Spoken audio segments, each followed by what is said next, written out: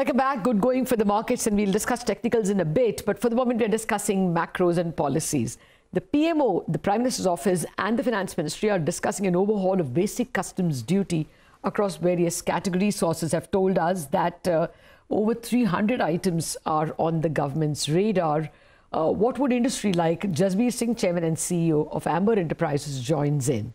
Uh, good morning, uh, Jasbir. Thank you very much for joining us. Uh, well, as someone who gets a lot of competition, who faces a lot of competition from imported ACs and components, uh, what would you like the government to do? Which uh, components merit import protection? So, Lata, basically, uh, you know, our industry has moved from uh, almost uh, 0.5 million to 7 million in last 20 years. And the critical components like compressors, motors, PCB boards, cross-flow fans, and valves, uh, copper and aluminum, these continue to get imported. And uh, I think uh, we are looking forward for uh, uh, policy interventions as PMP programs, phased manufacturing programs, where government is deliberating how to increase it gradually so that the capacity building also is done in the country as well as uh, industry gets time, industry doesn't get a knee-jerk reaction. So what These you would are like... the components which are... No, Jasbir, in that case, what you want now is a lower uh, set of duties on these components with a plan to increase them probably five years down the line. Is that what you're uh, speaking about? Uh, no, what, what, we are looking at is a gradual increase on the duties so that uh, these components starts getting manufactured here and the whole component ecosystem okay. uh, gets uh, uh, starts uh, being available here. Mm. so it is a gradual increase over a period of four to five years. So what is the import bill for AC components in India at the moment? How much comes from outside and how, how do you think, how much do you think could be manufactured in India realistically over the next say 6 to 12 months? So current value addition in uh, air conditioners is, uh, in room air conditioners particularly, is uh, close to about 25 to 30 percent. Okay. And this can go as high as 85 to 90 percent in next five years if policy interventions are uh, uh, put in place. But uh, won't this mean more expensive ACs for the consumer? Uh, Lata, it is uh, not going to be the case because, uh, you know, on one side, uh, we have a, a dollar uh, currency impact. And uh, if you see, that will negate this. And also a small increase of 2.5%, 3% is just 100 or 140 rupees increase on a 30,000 product. So it's it's not a big thing. Whereas it will also generate employment and attract investments as well as local component ecosystem will get developed. Okay, you. I was going through your website, and you do a supply to a lot of players in the auto market. I noticed Mahindra, John Deere, SML, Isuzu. Uh, we are seeing a bit of a pickup in terms of demand over there. Uh, can you tell us what percentage of your uh, clientele comes from this space, and what are the opportunities that you see here? Well, we have small presence in uh, automobile sector okay. as far as uh, we supply sheet metal components uh, to these uh, customers it is less than 5% in our revenue base. Okay. And uh, But yes, uh, demand is growing, uh, on the, especially on the tractor market and the combined market. We have seen that it is, uh, uh, it is, it is growing uh, positively. Okay. can you give us some rural-urban color? Uh, well, Lata, I mean, uh, you know, uh, I think uh, particularly because we, we deal with especially the sheet metal component in light commercial vehicles as well as in the tractor components and and uh, the combined harvester combined sector.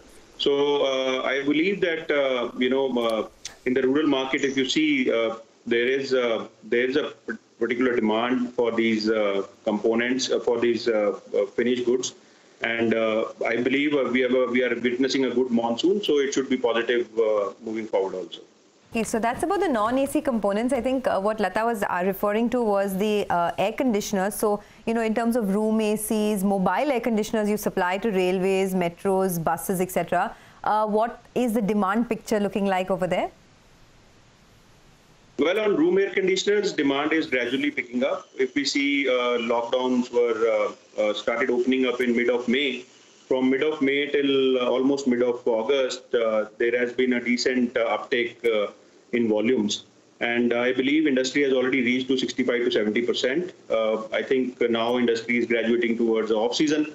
where uh, you know August, September, October are the lean period. But from the traction which we are getting, I believe that by September we should see a normalcy coming into room air conditioner uh, segment as far as. Now, as far as the mobility application of railways and metros are concerned, there is a very uh, positive uh, movement there. Government is spending a lot on infrastructure, and that's the reason uh, that division of R is still growing. Despite COVID, uh, we are uh, optimistic of the growth in that sector. We've already received close to 115 crore order during the pandemic uh, as far as metro ACs and uh, railways are concerned. So I, there is no slowdown in that sector. Okay, which is your best firing vertical? Well, I think all all verticals are firing well. Uh, if you see on room air conditioners, uh, we are adding customers, and due to COVID uh, situation, uh, China plus one strategy is forming up at uh, multinational companies, and also we are getting uh, uh, good uh, traction on the exports for both components, mobility application, as well as the room air conditioners. Actually, I wanted to ask you that because now there's this increasing chatter of vocal for local, right? I mean, a lot of people boycotting Chinese products. Are you seeing increased inquiries of people who perhaps earlier bought Chinese products and are now moving uh, to local manufacturers? Uh, well, to be honest, I mean, we are serving to almost uh, major brands uh, comprising of all Japanese, Koreans, Indian, and Chinese brands. So um, uh, there is a bit of a movement towards Indian brands, uh, and uh, that is, I think, but all the brands are doing pretty well. I think, but on on the on the, I would say, COVID situation has panned out positively as far as the export markets are concerned. We have started uh, already shipping our uh, components to Middle East and uh, US markets.